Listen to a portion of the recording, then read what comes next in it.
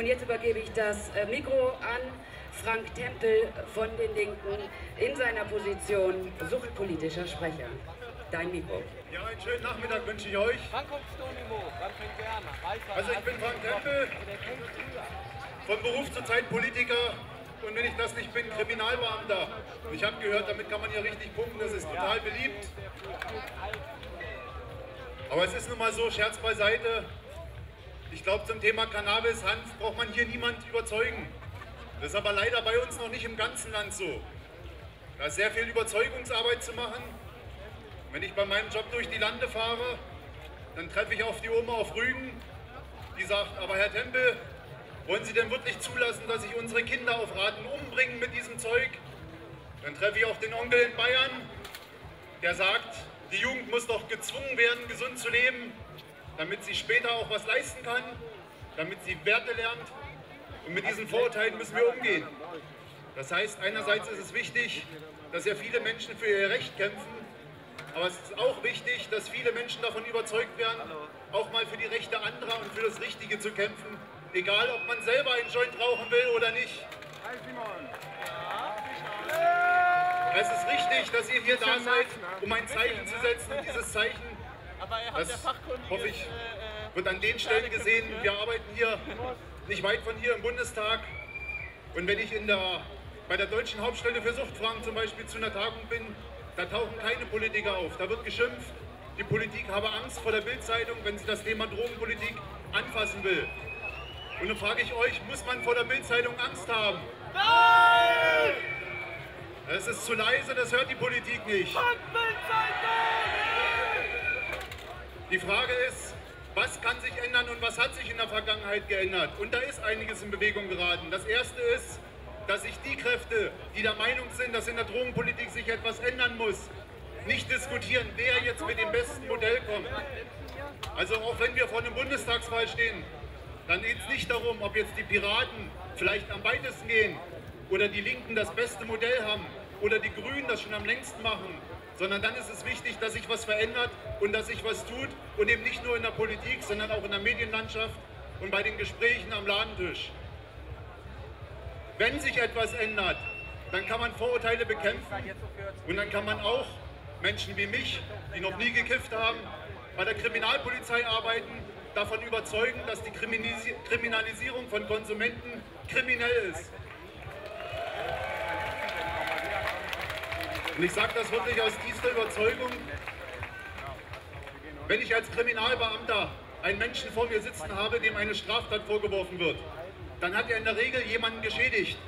Das heißt, gestohlen, jemanden verletzt, ob nur vorsätzlich oder fahrlässig. Und in einem Rechtsstaat ist die Polizei dazu da, jemanden zur Verantwortung zu ziehen, der jemand anderen geschädigt hat. Wenn ich jemanden vor mir sitzen habe, der zwei, drei Gramm Cannabis bei sich hat, dann ist es ein Mensch, der eventuell langfristig gesehen bei starkem Konsum in die Gefahr kommt, sich selber zu schädigen. Niemand anders sonst.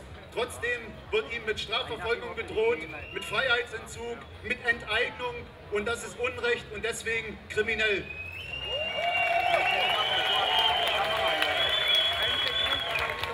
Der Staat, der Staat hat sehr viel Geld ausgegeben, um mich zu einem guten Kriminalbeamten auszubilden. Und ich habe aufgepasst bei meiner Ausbildung. Wenn der Staat in die Grundrechte seiner Bürger eingreift, das steht im Grundgesetz, dann muss dieses Verhalten verhältnismäßig sein. Das Bundesverfassungsgericht hat gesagt, die Strafverfolgung bei Besitz geringer Mengen von Drogen ist unverhältnismäßig. Bis heute ist das nicht im Betäubungsmittelgesetz niedergeschrieben.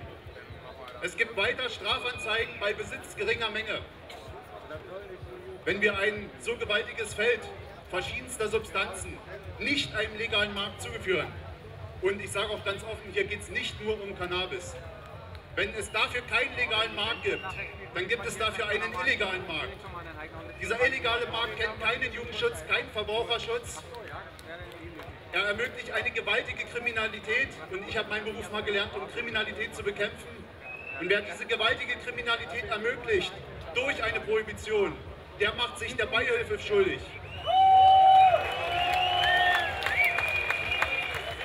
Wer das Verbot so weit treibt, wer das Verbot so weit treibt, dass selbst Menschen, die Cannabis als Medizin brauchen, nur unter schwierigsten Umständen eine Genehmigung bekommen, dass Menschen, die diese Medizin brauchen, diese selber bezahlen müssen, obwohl sie sich im Garten selber anpflanzen könnten oder durch Verwandte anpflanzen lassen könnten, sich helfen lassen könnten, der macht sich der unterlassenen Hilfeleistung schuldig. Cannabis war noch vor 100 Jahren das häufigst verschriebenste Schmerzmittel in Deutschland. Kaum einer weiß in der Bevölkerung heute noch, wie weit das Anwendungsfeld ist.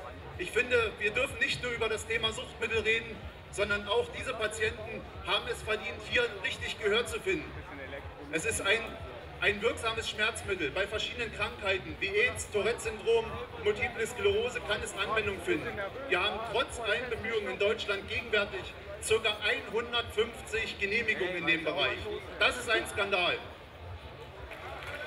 Ein Skandal ist aber auch, wenn jemand, der mal in eine Kontrolle gekommen ist und nur wenige Substanzen bei sich hatte, ein paar Gramm von irgendetwas Verbotenen, der ist dann entsprechend in der Fahndung drin. Es ist eben nicht nur die Strafanzeige, die man dann bekommt und die dann wahrscheinlich wieder eingestellt ist. Wenn man in Bayern diesen Eintrag erstmal hat bei der Polizei, dann heißt das bei jeder möglichen Kontrolle immer wieder komplett die Taschen vorzeigen, teilweise in kleinen, bis hin zur Wohnungsdurchsuchung. Das heißt, die komplette Palette der Strafprozessordnung und alles nur um Druck zu machen und Leute zu bevormunden und zu sagen, wir müssen alles mit Verbot regeln. Das Problem ist, dass dieses Verbot gar nichts regelt, sondern mehr negative als positive Folgen hat. Warum kiffen denn in Holland weniger Menschen pro Einwohner als in Deutschland, wo es verboten ist, wenn dieses Verbot so eine Logik haben soll? Stattdessen kann ein geregelter Umgang, ein vernünftiger, vorsichtiger Umgang, wo junge Leute auch erfahren, wo denn die Risiken liegen und wo denn der problematische Konsum nun losgeht, wesentlich gesünder sein. Und deswegen ist es auch für Leute, die nicht kiffen wollen, richtig, die Drogenpolitik in Deutschland ganz schnell zu ändern.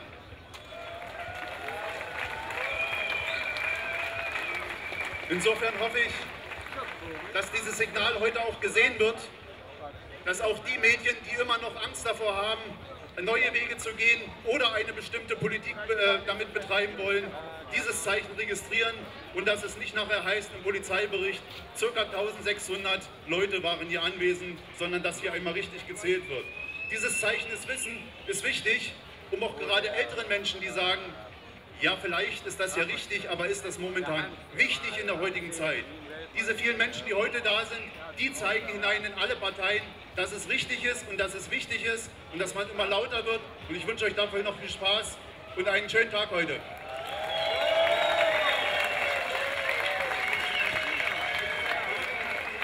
Herzlichen Dank an Frank Tempel von den Linken.